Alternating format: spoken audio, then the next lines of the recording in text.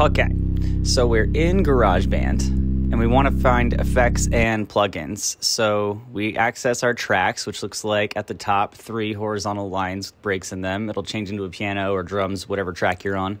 Then we want to click the three vertical lines with circles on them to open the effects, look for plugins and EQ, scroll down to plugins and EQ, and there we go. You tap edit. We already have a compressor. We can drag and move things around.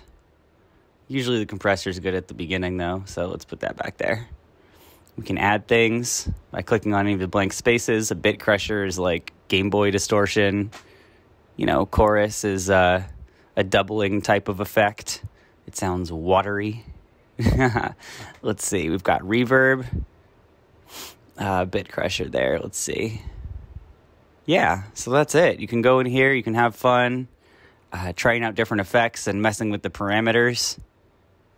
And let's just set up a little chain that I think might sound nice if you want to try copying it. Let's see, microphaser. Yeah, there we go. Cool.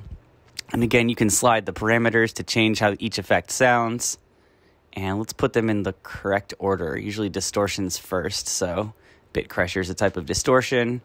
We like for we can turn things on and off too. Uh, so you don't want to hear everything all at once. Just the little blue power button up there. And I think we've got everything in the correct order. There we go. Have fun.